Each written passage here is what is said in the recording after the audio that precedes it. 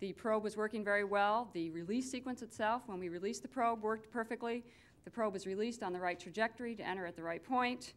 The flight path angle, so that the angle it enters to the atmosphere was right. It's just at the right angle so that it won't skip out of the atmosphere or enter too quickly and burn up. And the attitude or the orientation of the probe was set, so the heat shield is headed in the right direction to be protecting the probe during that uh, exciting entry that's coming up.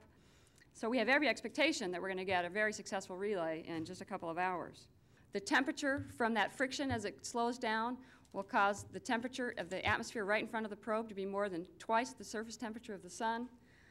And the probe will be um, decelerating very fast. Once the G switches activate, they'll turn the probe on and open the parachute.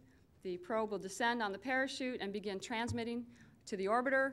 It will be sending real data as it, that it collects as it descends, as well as the data that it's stored and that it's storing right now um, on the radiation environment. It will also be storing data during the entry of what the G levels will be and how the heat shield is ablating, as well as the temperature of the heat shield during, will be stored during the entry itself. The aft cover comes off and it's now taking measurements. The instruments are all exposed to the atmosphere, looking at the clouds and the winds, what the composition of the atmosphere is. It'll be measuring the energy flux, where the energy is coming on Jupiter and where it's, um, what's driving the clouds and the winds.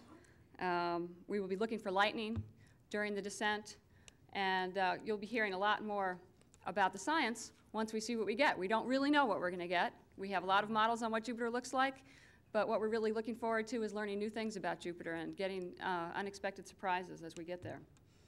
So we're very excited about getting today confirmation that the probe survives the entry and establishes the link with the orbiter. Um, and hopefully in a week or two we can tell you what we see at Jupiter.